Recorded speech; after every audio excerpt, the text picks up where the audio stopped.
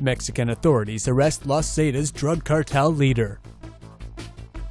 Mexican security officials have arrested Omar Trevino Morales, the leader of the Zetas drug cartel, authorities said on Wednesday.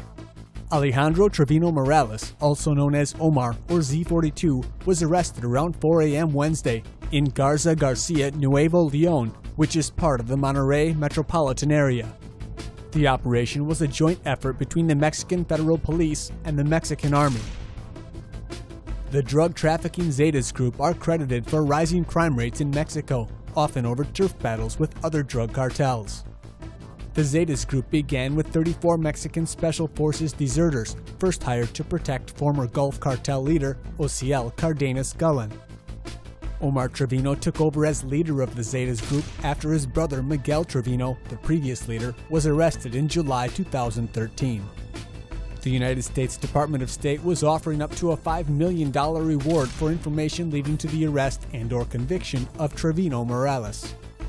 Just days before Mexican police detained Morales, they arrested Servando Gomez, leader of the Knights Templar drug cartel. Your smartest, most insightful comments can win you $100 only at tomonews.net.